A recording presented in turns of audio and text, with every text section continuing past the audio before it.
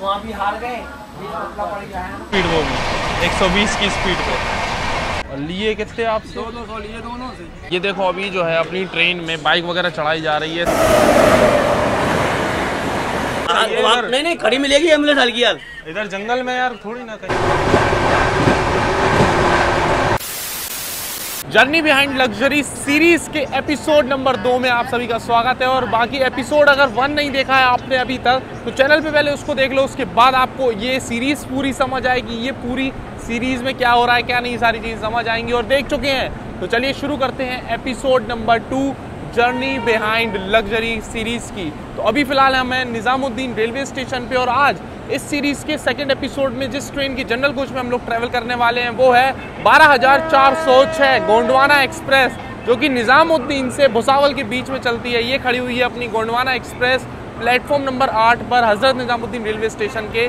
So hi guys this is Himanshu और आप देखना शुरू कर चुके हैं एच वाई ब्लॉग्स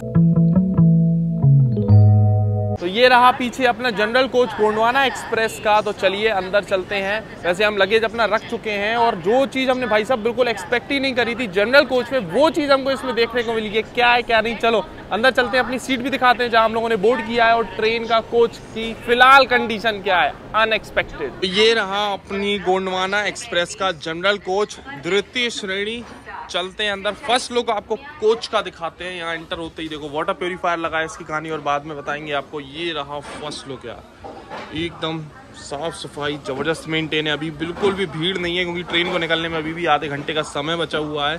और ये है इंडियन रेलवेज का दीन दयालु कोच एल कोच जिसमें कि ऊपर की साइड भी यहाँ पर कुशनिंग वगैरह दी रहती है। यहाँ पर भी आप सो के सफ़र कर सकते हो। जी। अभी तो सफ़र भी शुरू नहीं हुआ। तो सब शुरू जब तो करा अब भाई साहब वीडियो बना रहे थे और बीच में ही आ गए किन्नर और इनके चक्कर में हमको यहाँ पर फ़ोन रखना पड़ गया। ये मांग रहे थे पैसे लेकिन हमारे पास तो खुले पैसे थे ही नहीं तो हम इनको बस इग्नोर ही कर रहे थे। लेकिन ये इतनी जल्दी आसानी से तो मानते नहीं है लेकिन फिर भी दस मिनट बाद ये यहाँ से चले गए हमको छोड़ कर तो भाई साहब देख रहे हो अभी बस हम वीडियो बना रहे थे। सफ़र शुरू भी नहीं हुआ तो आ गए किन्नर मांगने। वहाँ भी हार गए। पड़ गया है तो यार इन लोगों ने डिस्टर्ब कर दिया। चलो वापस चलते हैं। सीट तो हमने आपको दिखा दी कुशनिंग वगैरह सही हैगी तो यहाँ पर ऊपर सो कर भी यात्रा कर सकते हैं। ऊपर वाली सीट पर नहीं तो पहली वाली सीटें जो आती थी, उनमें बस ऐसी लोहा रहता था, उसमें लेकिन कंफर्टेबल नहीं रहती थी। चलो, अपनी सीट और दिखाते हैं जहाँ पर आज हम लोग पूरी ये जर्नी करने वाले हैं इस गोंडवाना एक्सप्रेस में। तो ये रख दिया हमने एक अपना ट्रॉली बैग नीचे गोंडवाना एक्सप्रेस में। अभी फ़िलहाल तो देखो सारी सीट्स जो है खाली है। ये रखा हमारा छोटा वाला बैग आज भी सीरीज़ के सेकंड एपिसोड पे भी हम लोग एमरजेंसी विंडो के पास ही बैठकर ट्रैवल करने वाले हैं क्योंकि यहाँ का एक्सपीरियंस ज़बरदस्त रहता है। तो अभी जर्नी से पहले पानी की बोतल एक छाछ केक और कुछ पीनट्स वगैरह ले लिया है हमने ताकि भूख लगे या प्यास लगे तो टेंशन नहीं होनी चाहिए जनरल कोच में। तो जैसे ही हम लोगों की ट्रेन के डिपार्चर का टाइम होता है गार्ड साहब दिखा देते हैं हरी झंडी और अब हम लोग निकलने को तैयार हैं हज़रत निज़ामुद्दीन रेलवे स्टेशन से।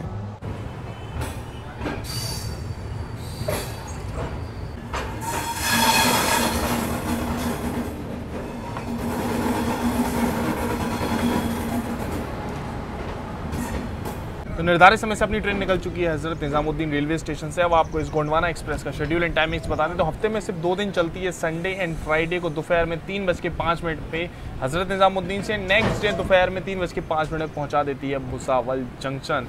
वैसे ये जो गोंडवाना एक्सप्रेस चलती है अपनी रायगढ़ वाली उसके संग ये जो ट्रेन है ना ये रेक शेयरिंग करती है। डिपार्चर के बाद जब हम कोच में देखते हैं तो अब कुछ लोग यहाँ पर आ चुके हैं और अब हम अपनी इमरजेंसी विंडो खोलकर बाहर का व्यू एंजॉय करते हैं। लेकिन बाहर से आ रही धूप तो हमने अभी खिड़की कर दी वापस से बंद। अब थोड़ी शाम हो जाएगी तब खोलेंगे। बाकी जर्नी को स्टार्ट करते हैं अपन छाछ पीते हुए। गर्मी हो रही है बाहर। अभी इससे पहले थे कटरा में वहाँ थी सर्दी एकदम ठंडा माहौल यहाँ एकदम गर्मी। अपनी गोंडवाना एक्सप्रेस अभी निज़ामुद्दीन रेलवे स्टेशन से निकल चुकी है। अभी अपन ने पार किया है ओखला रेलवे स्टेशन और डायरेक्ट अब अपनी ट्रेन रुकेगी पहला हॉल्ट जो है, वो है मथुरा जंक्शन पर। ये देखो, मथुरा जंक्शन पे है पहला हॉल्ट और करंट स्पीड हो गई है 96 की। बढ़िया तरीके से एक्सेलरेशन चल रहा है। तो अभी अपनी ट्रेन ने 120 के ऊपर की स्पीड मेंटेन कर ली हो भाई साहब। क्या ट्रैक साउंड हो रहा है? एकदम ताबड़तोड़ ये जर्नी होने वाली है। उनको भाई एहसास हो रहा है। एकदम ताबड़तोड़। हाई स्पीड ओवरटेक्स होंगे भी। हम लोग भी ओवरटेक करेंगे और कुछ ट्रेन हम लोगों को भी ओवरटेक करेगी। ऐसा अनुमान है हमारा। हम बोल ही रहे थे ये बात और ये देखो, मालगाड़ी के साथ अभी पैरेलल रेस चल रही है हम लोगों की। हाई स्पीड वो भी। 120 की स्पीड पे।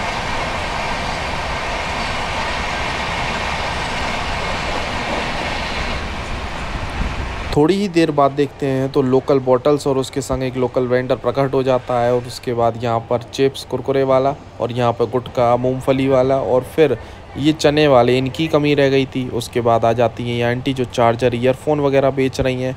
अब हम ट्रेन में बैठे बस यही सोच रहे थे कि जनरल कोच में तो पूरी मार्केट का सामान आपको अलग अलग मिल ही जाएगा और फिर हमारी नज़र पड़ती है इस रंग बिरंगे चार्जर पे। क्या दिवाली वाला चार्जर है, मस्त।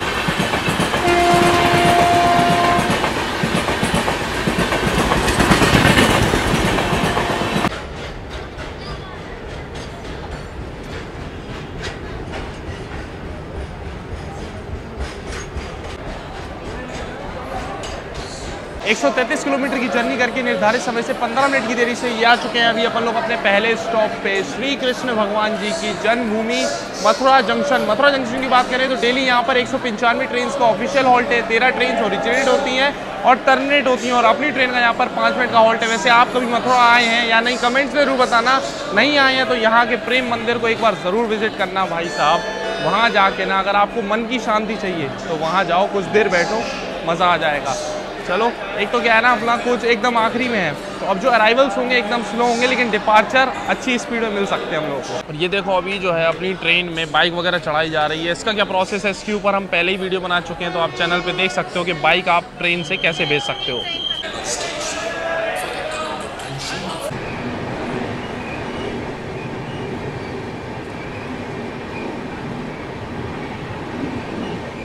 मथुरा जंक्शन निकलने के बाद सामने ये दो भैया आते हैं इनसे थोड़ी बातचीत होती है तो पता लगता है ये अपनी ट्रेन के आगे चल रही महाकौशल एक्सप्रेस में ट्रैवल कर रहे थे और जनरल टिकट होने के बाद स्लीपर में चढ़ गए थे क्योंकि जनरल कोच में भीड़ थी तो टीटीन को उतार देते हैं और फाइन सुनो भाई कितना लेते हैं टीटीन से।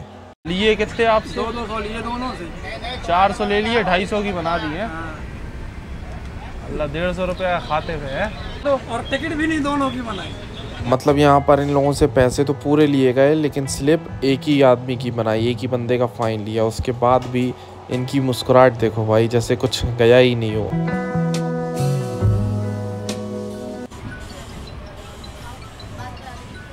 तो जैसा कि हमने भाई स्टार्टिंग में ही बोला था कि कुछ ओवरटेक्स का जो है हमें अनुमान है, उन्हीं में से एक होने वाला है। अपनी ट्रेन को लगाई दिया है लूप लाइन पर, एक छोटे से रेलवे स्टेशन पे। अब यहाँ पर सिकंदराबाद राजधानी एक्सप्रेस हम लोगों को ओवरटेक करने वाली है। शाम का बेहतरीन सा ये व्यू और जनरल कोच में ट्रैवल करने वालों का अलग ही सीन है। ट्रेन कहीं रुकती है तो सब बाहर आ जाते हैं और वही जनरल कोच की भाई पहचान है। और ये लोग आ गई राजधानी एक्सप्रेस हम लोगों को ओवरटेक कर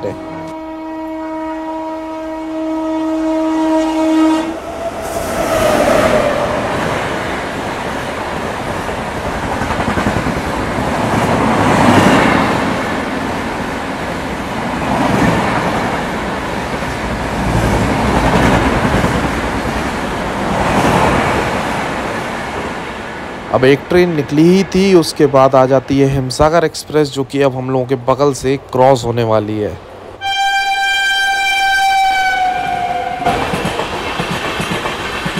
इसकी क्रॉसिंग ही देख रहे थे, उतने में पता ही नहीं लगता है कि हम लोगों की ट्रेन का कब सिग्नल हो जाता है और चलने लगती है। फटाफट से हम पहुँचते हैं अपने कोच में।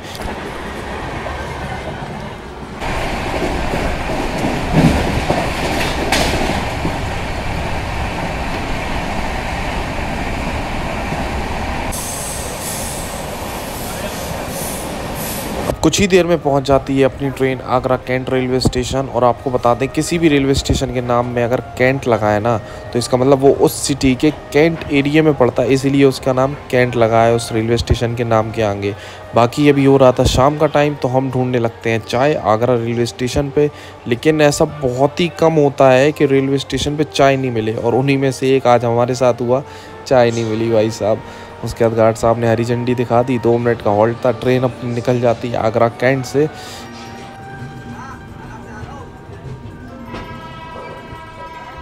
नागपुर कल सुबह में पहुँच जाओगे आप?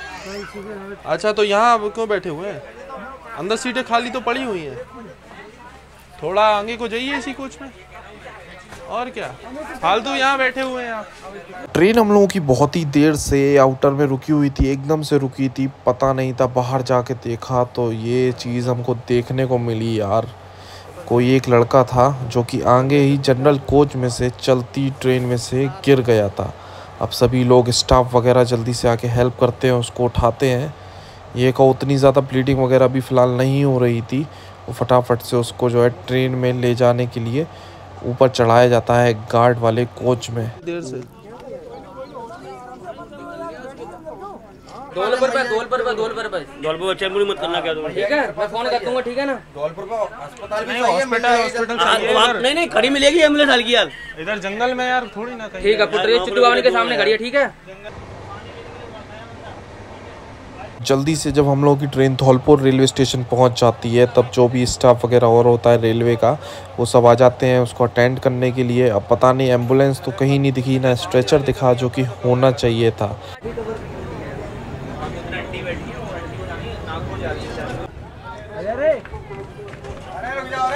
भैया पूरा खाली पड़ा है।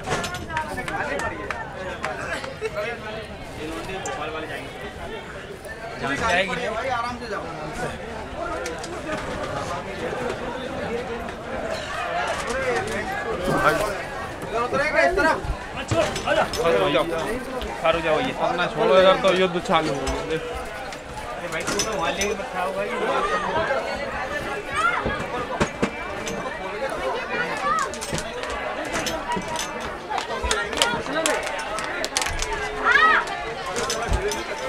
मैया रे। अरे भैया, एक साइड लड़के को खड़ा तो हो जान दो यार उसको। उठा ले बेटे बैग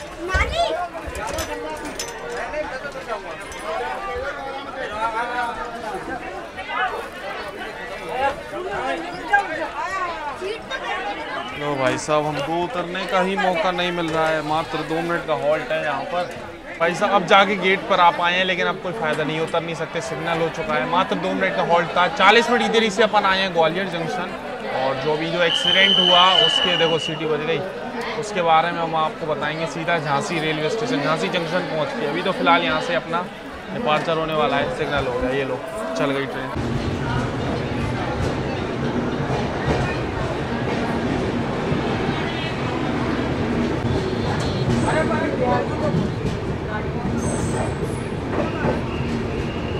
ये लो भाई, अब एकदम फुल पैक हो गई है अपनी ट्रेन अभी तक खाली थी।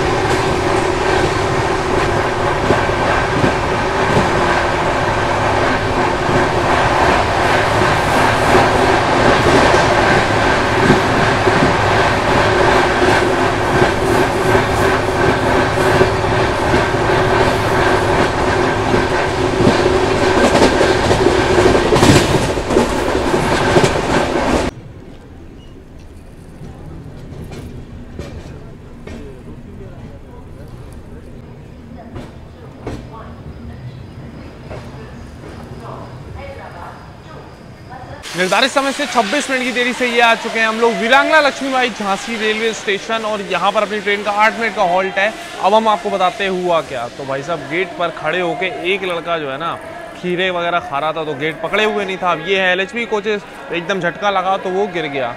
ठीक है, ये कौन लोगों ने देख लिया, चेन पुलिंग वगैरह कर ली गार्ड साहब वगैरह गए, सब लोगों ने उठवाया, रखवाया, उसके बाद मतलब बच गया मतलब ऐसा नहीं हुआ कि मतलब ज़्यादा वैसा खून आ गया हो, है ना? तो ब्लीडिंग वगैरह कम थी। ये अच्छी बात है। तो उसके बाद धौलपुर में स्टेशन पे वहाँ पर सब इन्फॉर्म किया हुआ था तो वहाँ पर लोग आ गए थे रिसीव करने ले गए। लेकिन सोचने वाली बात ये है भाई 40 मिनट लगभग पहले बता दिया गया था, उसके बाद भी धौलपुर पे स्ट्रेचर वगैरह नहीं आया। कि एंबुलेंस खड़ी हो स्ट्रेचर आ गया हो, ऐसा नहीं हुआ भाई। ये सोच के बड़ा लगता है यार कि मतलब सोचो चालीस मिनट के समय में भी नहीं आया तो एमरजेंसी में कैसे आएगा? जहाँ एमरजेंसी पाँच दस मिनट से ज़्यादा की नहीं होती यार। तो ये चीज़ बड़ी बेकार थी। खैर, खाने का अब ये है सिस्टम इस ट्रेन में पेंट्री कार तो नहीं है साइड पेंट्री चल रही है, क्या है, क्या नहीं, उनका हमें समझ नहीं आया, ठीक है, और कोई ऑर्डर लेने भी नहीं आया अभी तक तो हमने यहीं से झांसी से ऑनलाइन मंगाया हुआ था खाना, वैसे तो पीएनआर नहीं है, लेकिन जोमेटो वगैरह से करके मंगा लिया था, अब यहाँ से लेते हैं अपना खाना, उसके बाद जो मंगाया है, अलग ही चीज़ मंगाई है, ये झांसी की भाई फ़ेमस है, जो लोग हैं झांसी के, उनको पता होगा, चलो, अभी ट्रेन चलेगी, उसके बाद दिखाएँगे आपको कहाँ ठा रहे हैं भाई माइक डाउन में दे दो हमारे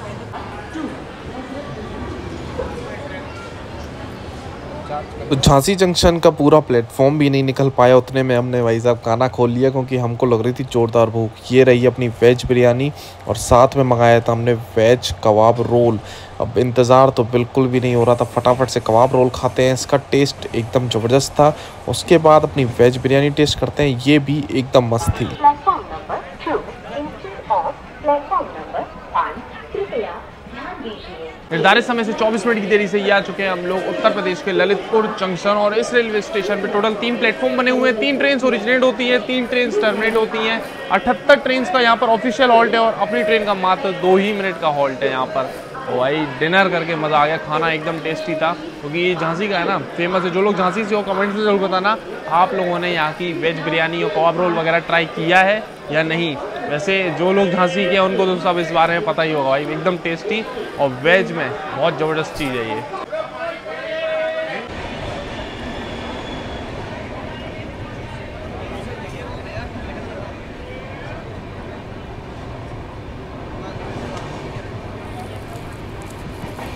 ललितपुर जंक्शन से निकले तो उसके बाद अब हमारी नज़र थी कि कौन सी सीट खाली है जहाँ पर हम सो सकें। लेकिन यहाँ सीट तो भाई कुछ भी, ज़रा भी कुन्ना भी एक खाली नहीं था जहाँ बैठ सकें। हर जगह देखा, लेकिन कुछ नहीं मिला। फिर अपनी ट्रेन पहुँची बीना जंक्शन और ट्रेन खाली तो होना छोड़ो, यहाँ से उल्टी और ज़्यादा भीड़ चढ़ गई अपनी ट्रेन में। अब तो बीच में खड़े होने की, पैर रखने की जगह भी नहीं बची थी। तो अभी हम लोगों की ट्रेन रुकी हुई है एक छोटे से रेलवे स्टेशन पे। देख रहे हो वैसा माहौल यहाँ का। और यहाँ पर हम लोगों को अब सी आर राजधानी ओवरटेक मारने वाली है। इसलिए हम लोगों को यहाँ पर लूप लाइन पर रोका गया है।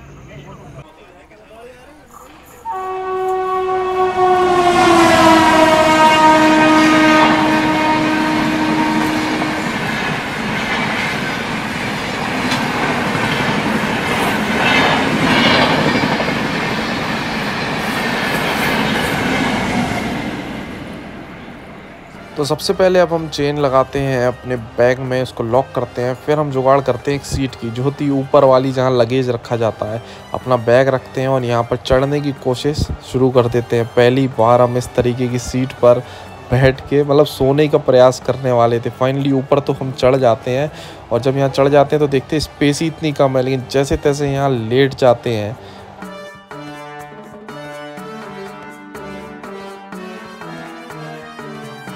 लेकिन एक मिनट, ये बंदा कहाँ से आ गया? भाई साहब, ऊपर सोए थे, लेकिन अपने बस की नहीं है वो जगह। इतनी छोटी सी जगह थी, वहाँ सोना पॉसिबल ही नहीं हुआ। लेकिन फाइनली रात के दो बजे हमको एक सीट मिल जाती है, यहाँ हम सो जाते हैं। और जब सुबह होती है, सुबह हम उठते हैं तो देखते हैं जनरल कोच में पानी की बाढ़ आ चुकी है। लेकिन खैर, ये अपना कोच नहीं था। सो गुड मॉर्निंग गाइस तो अभी सुबह का बज रहा है साढ़े सात और अभी हम लोग पहुँचने वाले हैं नारखेड़ जंक्शन। मतलब नागपुर जंक्शन है। यहाँ से अभी करीब 94 किलोमीटर के आसपास। और ये जो घाट सेक्शन है ना, वहीं से अभी अपनी ट्रेन गुजर रही है और आगे भी एक बहुत ज़बरदस्त कर्व आने वाला है। चलो, हम आपको कर्व का व्यू दिखाते हैं। और नींद तो यार, कल रात में ये वाली जो सीट है ना, ऊपर वाली यार सीट मिल गई थी। बढ़िया, हम सो गए थे, रात में सही नींद आ गई थी। ये सीट नहीं मिलती तो गड़बड़ हो जाती। यहाँ बैठे बैठे दस्ते सी हो जाती। खैर चलो ये मॉर्निंग का व्यू आपको कर दिखाते हैं सबसे पहले।